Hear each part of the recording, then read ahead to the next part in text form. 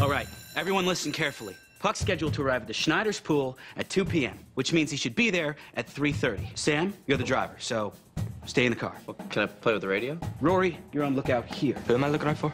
I mean, besides Puck. Blaine, Mike, and myself will triangulate a very carefully planned attack on Puck here, here, and here. Is that is that a bear I'm hiding behind? No, no, it's a bush. Looks like a bear. But it's not a bear, it's a bush. Maybe a shrub. What's the difference between a shrub and a bush?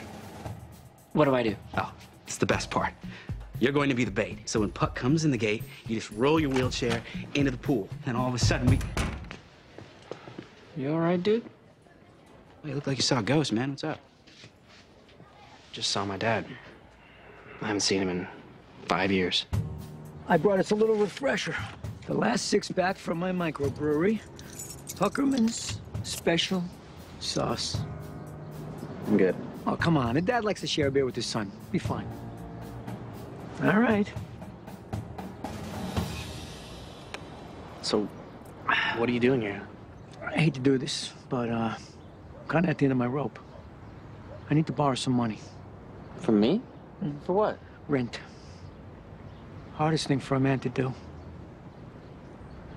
is ask for help. What did you do? I gave it to him.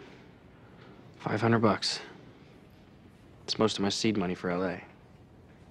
I don't get it. Why? Because I knew if I gave it to him, I'd never have to see him again. You know, he dropped out of high school, too.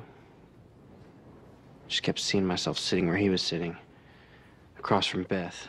No dignity, no future, begging her for rent money. I cannot let that happen to me. I have to graduate.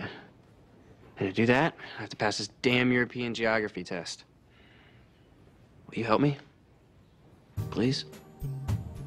Never leave a man behind.